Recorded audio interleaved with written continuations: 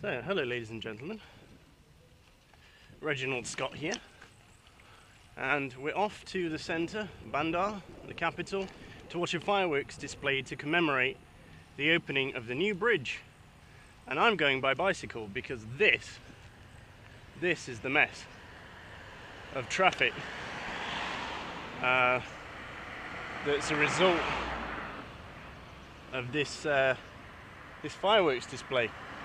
And I thought anyone who wants to drive into this was crazy, so I thought I'll go by bike, which is a much better option, even though it has been raining.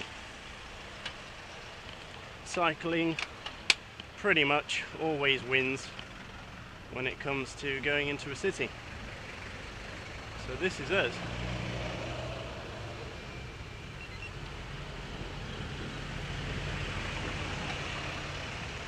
Going to be a bit chaotic, that's for sure.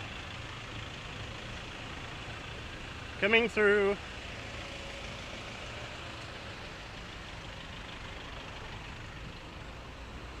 Wow, I've never seen it like this before, but everybody in the whole of Brunei wants to see this show. It's going to be an incredible fireworks display. This bridge is probably the biggest structural engineering project, project undertaken by the Sultanate in many, many years. In fact, other than the road network, I think this is probably the biggest. There we go, nearly killed some Indians. Oh.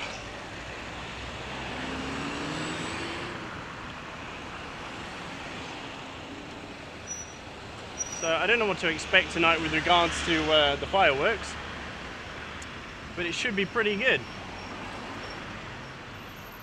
as you can see literally all of this traffic wants to get there. All of it. So.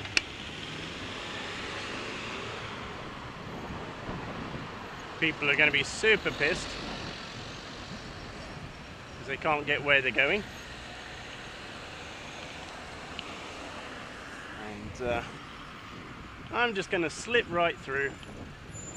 It's actually quite dry. I thought it was going to be raining but it's actually dry, which I'm very fortunate for. It's been raining heavily all day. Hopefully the fireworks didn't get wet. But yeah, it's been raining heavily all day, and uh, man, I thought I was going to get drenched on the way in, but it looks like I'm going to be alright.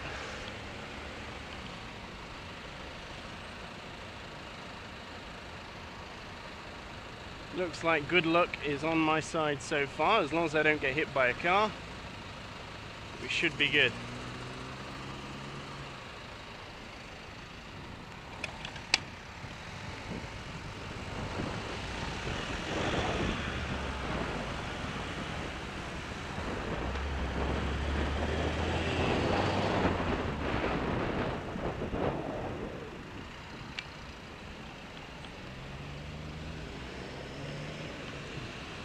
Some mad bike skills going on here tonight.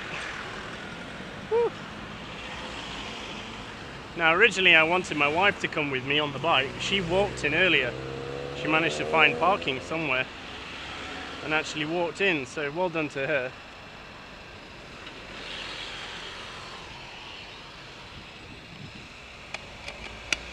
Because everywhere else is just gridlock now.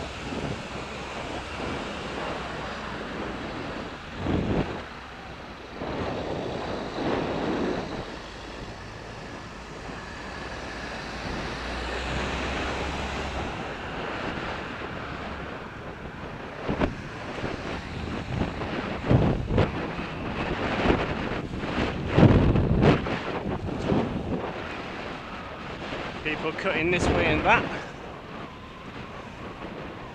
I say everybody's trying to get there. Got to make sure that uh, people see us, know we're around, don't run me down.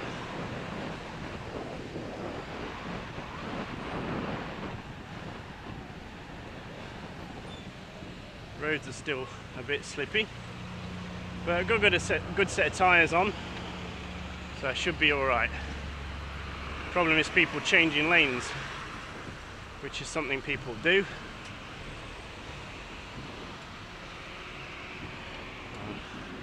Technically I'm doing the same thing, but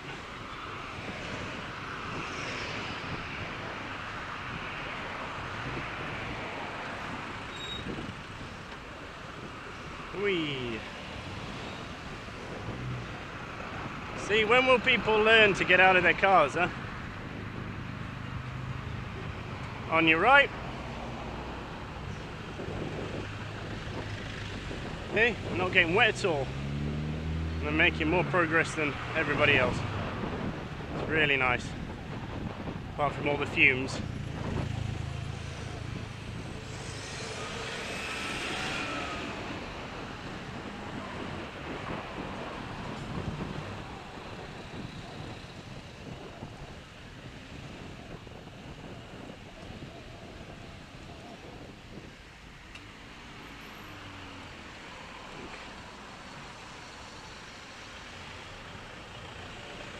I'm going to cross over now.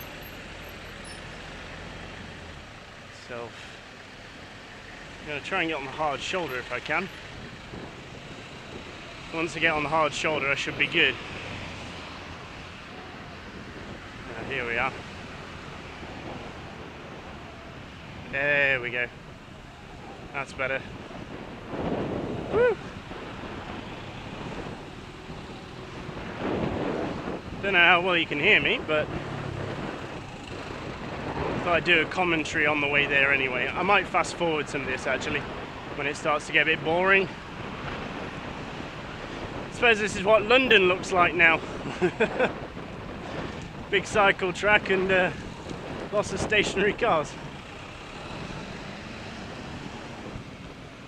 Okay.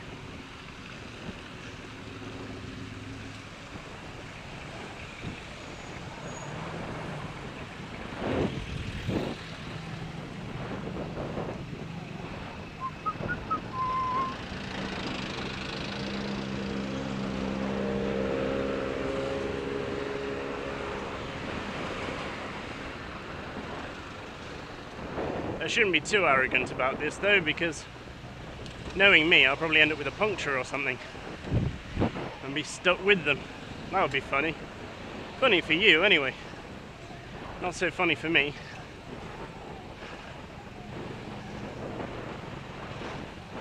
Yeah, I've never seen it like this before. Just solid traffic all the way.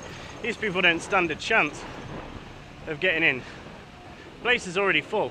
I mean, you can't fit, I don't know, 10,000 cars in a place that can only hold a couple of thousand.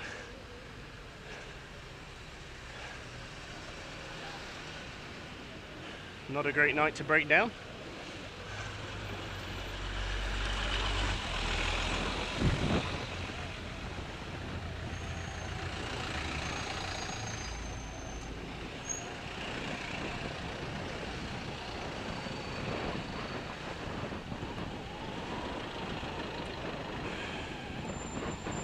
Here's the dangerous part. That truck turning left, so I'll go right. Probably safer. A mouth full of diesel fumes. Yummy.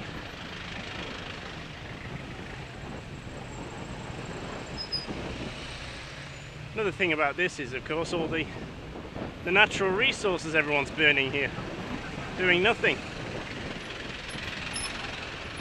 Now, no one's moving anywhere, but everybody's just burning fuel. So you don't have that problem with the bicycle. If I stop pedaling, not burning anything. And I still go forward. For a little bit anyway. Oh boy. What are these guys up to? Come on. Okie dokie. Make your minds up. it's like, you know, they're thinking if I change lanes I might get there faster. Fat chance.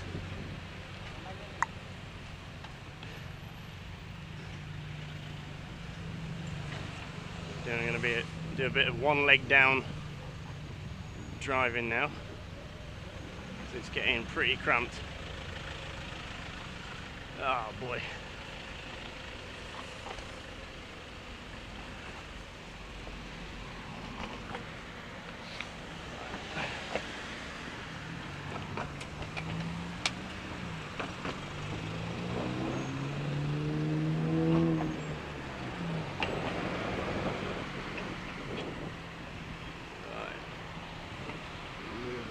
Here.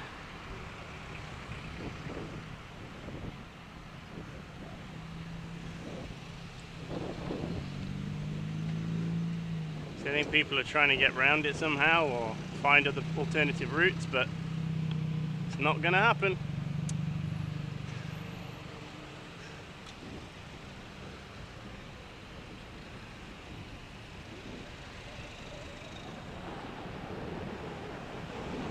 You guys are stuck.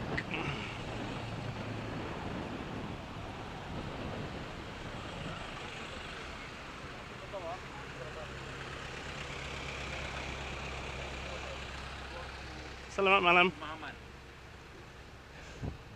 Woohoo!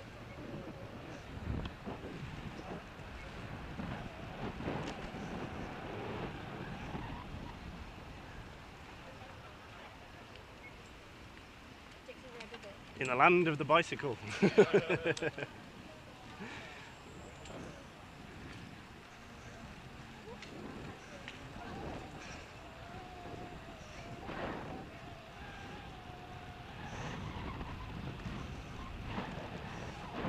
What I should have said is, uh, in the land of the pedestrian, the bicycle is king.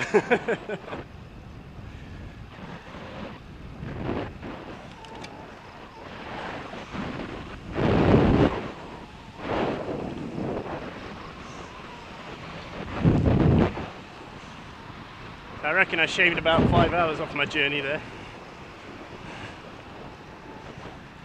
Now I've got the road to myself. Fantastic. It'll be the same thing coming back out later.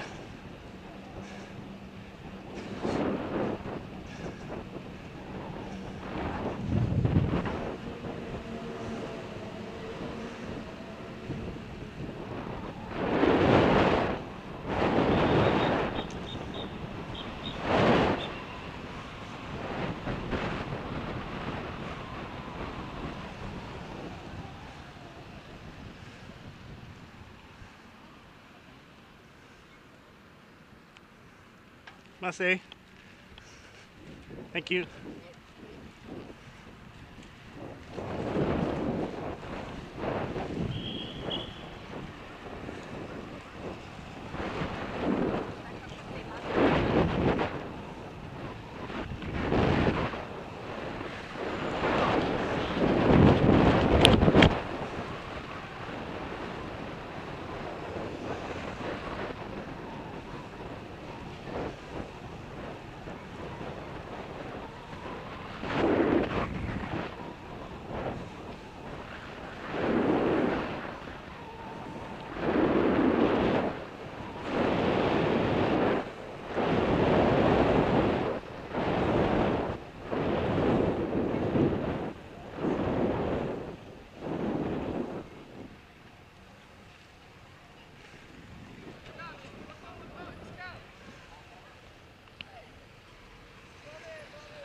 Can't can't go through?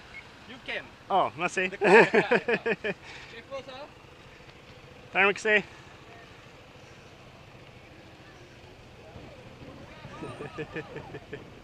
I thought you were saying bicycle can't go through. I heard the word bicycle, so I was like, ah, I'm stuck.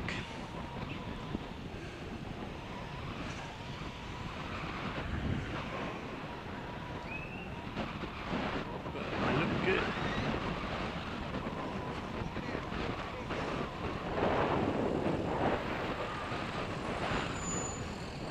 It's always best to stop for the police because, you know, they carry guns.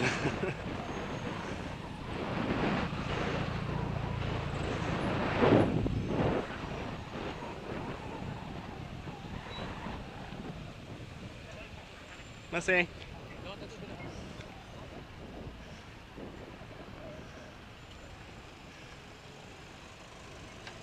Merci.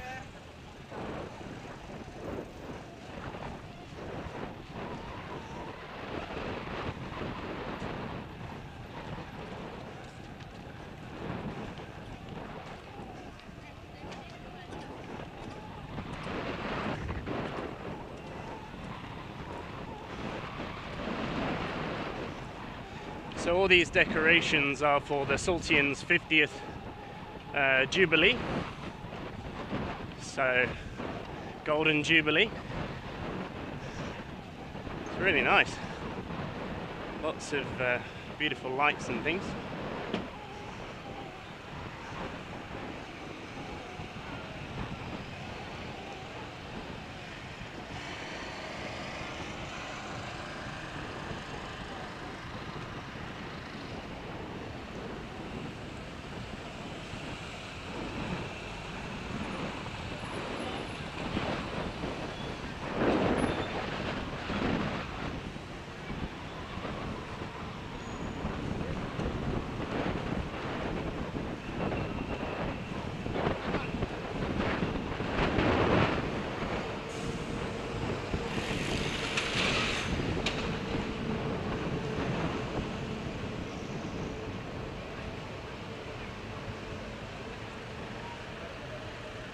Salam. Merci. Uh,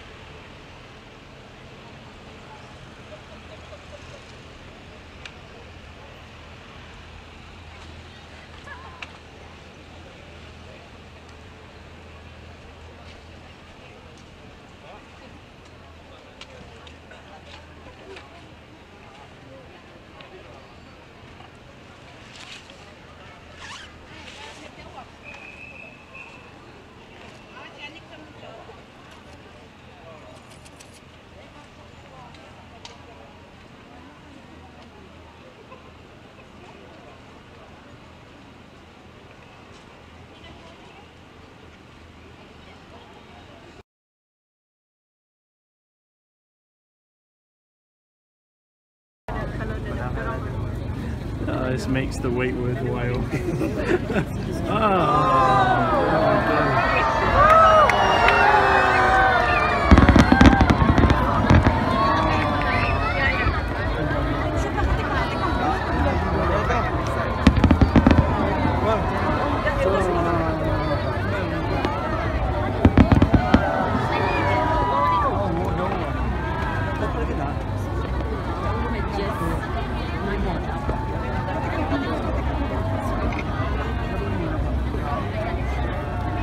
So, hello everyone. Just a quick recap of what happened. So, got into Bandar, met up with my wife, who um, drove to the outskirts, like the proper outskirts of the capital, and then uh, walked in. Uh, she parked her car at a, a park, the Jubilee Park, and um, I think cycling was definitely the best option. I, I was pretty much the only cyclist there. I saw one other person on a mountain bike, and I got straight in, straight through all the roadblocks, straight past all the traffic, parked my bike right near the waterfront, walked five meters to uh, the water, watched the firework display. Um, it was nice. It was a nice display. It's great to see the bridge open.